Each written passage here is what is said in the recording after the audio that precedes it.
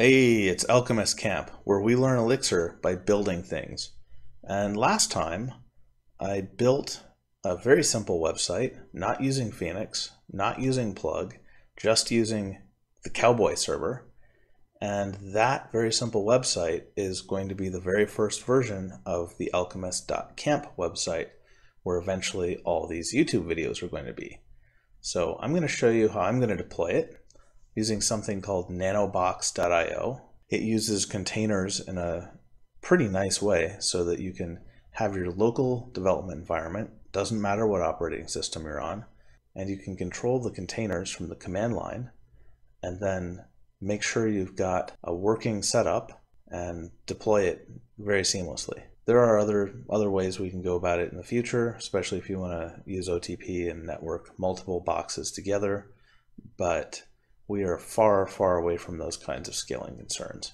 So type in my password and my name off screen. All right, I'm logged in here. You can see I have no apps. Um, the first thing you need to do is download the desktop. It recognizes that I'm on Windows. And I used a VirtualBox because Docker Native doesn't work with Windows Home Edition. You have to have either Pro or Enterprise. And even if you do have enterprise, uh, it's due to hyperthreads and some various issues. Uh, it's a lot harder to get working properly. I've already downloaded it, so I'm not going to download it again, but you can see what the bundle is. If you're on a Mac or Linux, you'll see a slightly different screen. VirtualBox runs on all three. It's really whatever platform you're on, you'll use VirtualBox or else Docker Native. And I'm going to launch a new app and it's called alchemist.camp. Oh, no dots. All right, fine. Alchemist dash camp. And I have already connected Nanobox to DigitalOcean. They work out of the box with DigitalOcean, with AWS, with several other hosting options. Um, so I'm just going to provision a $5 a month server. Let's see what the specs are. It's a pretty weak one, but it's more than enough for the traffic I'm going to be getting for a good while.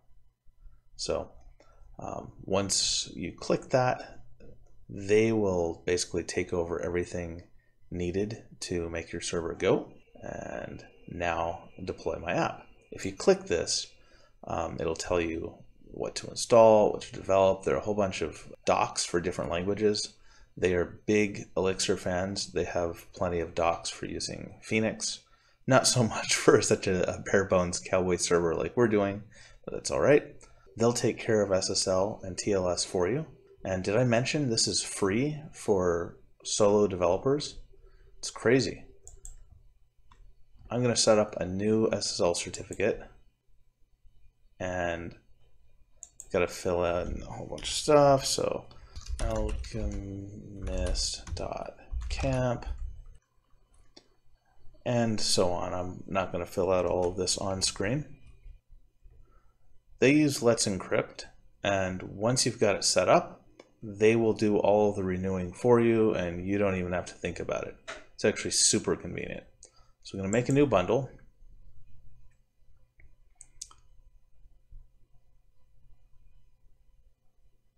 And they're not available until the platform is fully set up. Okay, it says the install is done, and now I can go finish setting up my Let's Encrypt certificate, except that the page has to be accessible first. So what I'm going to do is finish setting up the app from the local side. The way it works is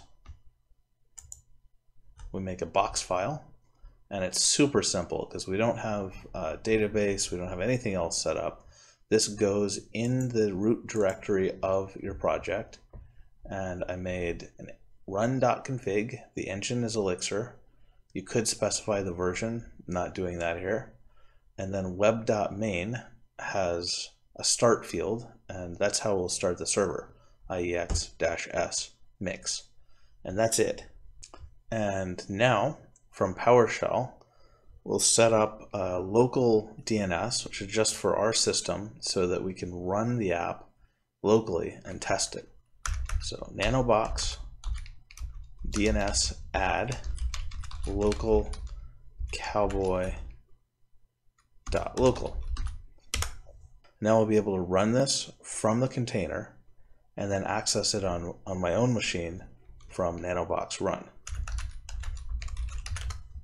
This will take a minute to get started, so I'll pause recording while that happens.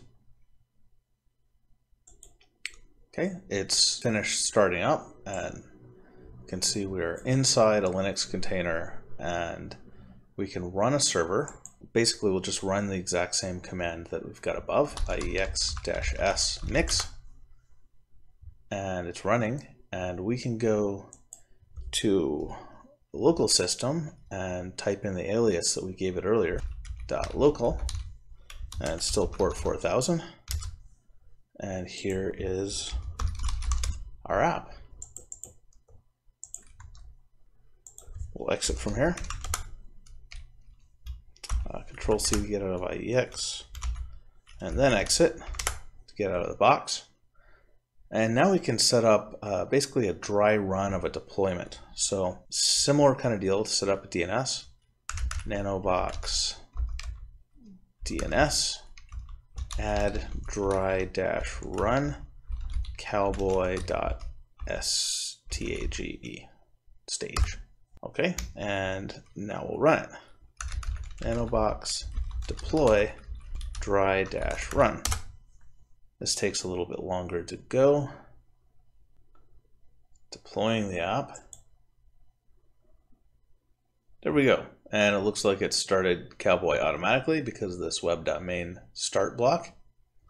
And let's give it a shot.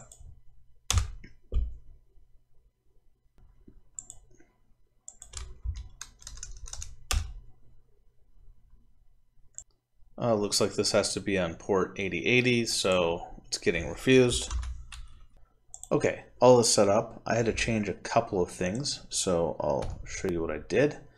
Um, everything was working fine locally, but for staging, I had to change the port to 8080. Um, and this is also the port used for production.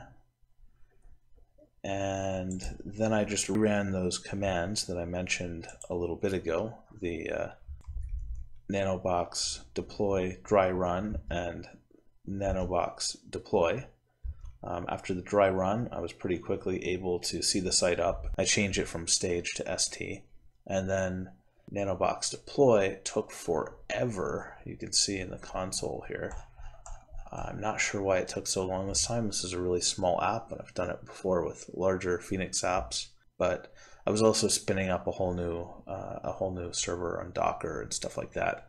So that could have been part of it. After I made that change and I got everything working on staging and I deployed, then I went back to my Nanobox dashboard and I went to the SSL certificate. It says this IP is not resolving to the host name that I gave it, which is alchemist.camp. And so I had to go into my domain name settings in DigitalOcean, uh, which is not my domain name provider, by the way. Um, it's just my host. I already had these three set up, and I had to set the host name to direct to this IP address.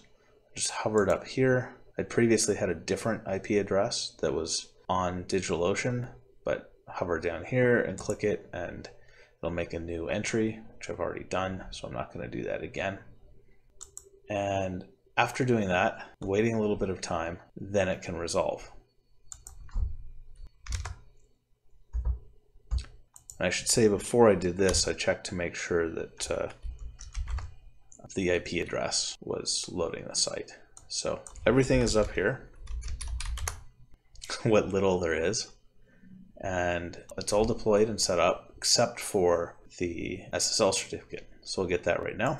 Create the bundle, and this asks for, oh really, did I, oh, I think I already put in my, uh, okay, yeah. So this will ask you to put in um, your public key. So you've got to generate an SSH key on your computer and then put in the, the public key and also to connect with DigitalOcean or Amazon or whatever service you're using, you've got to get a key from that side and authorize Nanobox to be spinning up servers for you and so forth. But that's pretty much it. Um, this is pretty fast, all things considered. And in order to update the app, it's actually super convenient. Um, you do have to wait a little bit of time for the deploy, especially if you're on a laptop like I am, because you're spinning up the virtual machine and all that. But um, we could change, say, this, this route for the two from the number two to TOO, save it, and then redeploy, and that's it. It'll start everything up and it'll redeploy.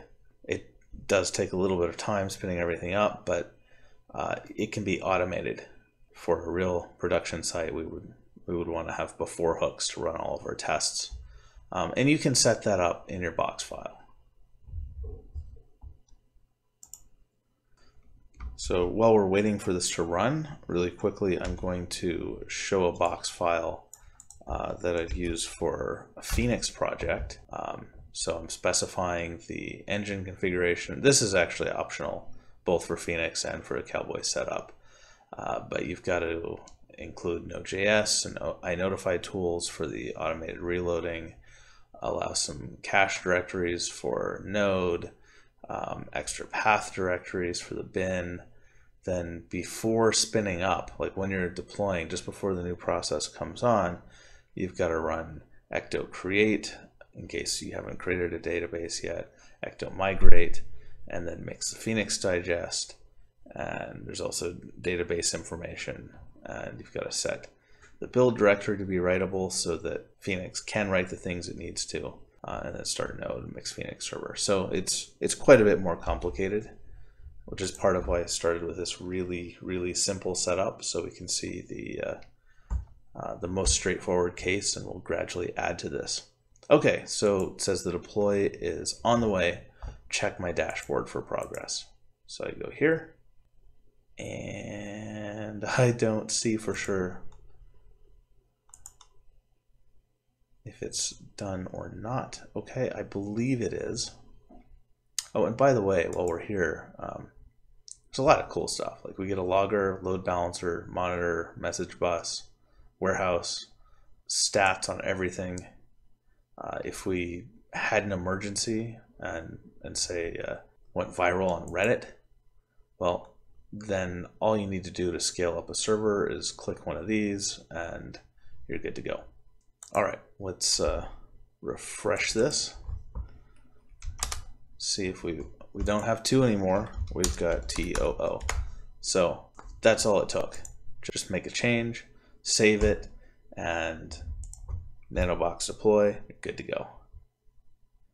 All right, that wraps up this lesson. Uh, it's not really a lesson. This uh, this behind the scenes peek into me launching um, one of the least sophisticated websites ever. And if you enjoyed it, click subscribe, click the bell so you get more updates. And until next time, code on.